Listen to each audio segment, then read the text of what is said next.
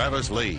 Well, the February vacation week is loaded with championships other than basketball for vacationing high school athletes. Today, the track and field meets. We start at USM, the Class A meet in Gorham. Boys 100 or 400 meters. Alex Nichols of Brunswick sets the state record with a time of 49.93 seconds. Girls triple jump. Lexi Clavitt of Edward Little wins with 35 six five, or rather 35 feet 6.75 inches.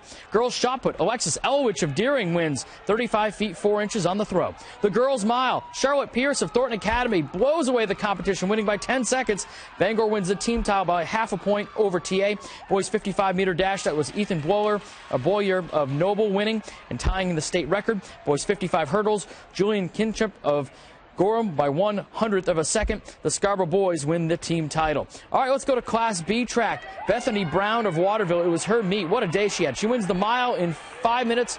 39 one hundredths of a second, breaks her own state record. She also broke the state record in the two mile. The girls shot put Gwen Sawyer of Greely, a first place throw of 36 feet, 10 and a half inches. Greely was second for the girls. Boys 400 meters, Josh Brooks of York wins York is the B champ. Foxcroft, Waterville, Falmouth finish 2 3 4.